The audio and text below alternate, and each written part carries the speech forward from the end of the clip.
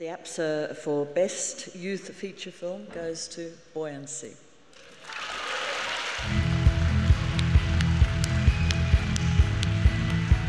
From Australia, directed by Rodd Rathjen, produced by Samantha Jennings, Kristina Ceyton, and Rita Walsh.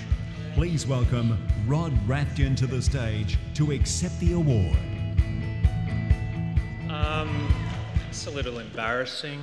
Um, it's it's really just a privilege to, to be here and be a, be amongst so many amazing creatives from from this region, and um, you know I feel really humbled and privileged to to be a part of the APSA kind of legacy um, that that I've looked from afar from a long time.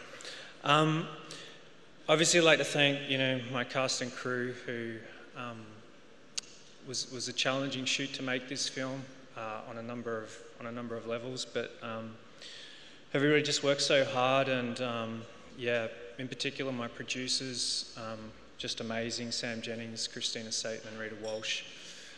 Um, but really, the the kind of inspiration behind this film were the survivors who shared their stories with me about what it was like on these trawls, and they broke my heart over and over again. And you know, I hope that you know by making this film we can hopefully make a bit of a difference. So, cheers, thank you.